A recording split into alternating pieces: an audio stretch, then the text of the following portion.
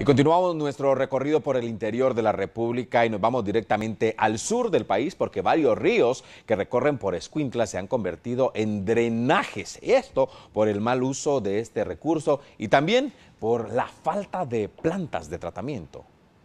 Años atrás, los ríos de la cabecera de Escuintla servían para que los comunitarios que tienen sus casas a las orillas se abastecieran de agua además de recrearse.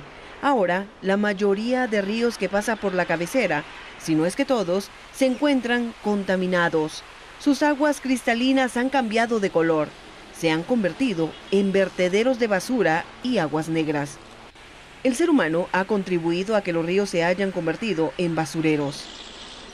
Uno de ellos es el río Pacaya, que pasa en al menos siete colonias de la cabecera de Escuintla.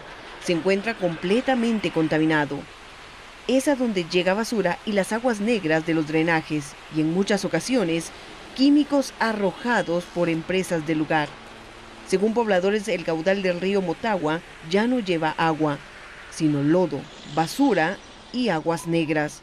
De igual manera, los ríos y riachuelos de la cabecera departamental se encuentran totalmente contaminados. Asimismo, algunos de Santa Lucía y Siquinalá. El río Michatoya, que pasa por Palín, todos los días lleva diferente color de agua.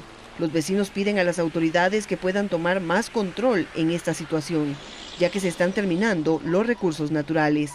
Pero recordemos que no son solo las autoridades quienes deben accionar. Nosotros debemos evitar la contaminación.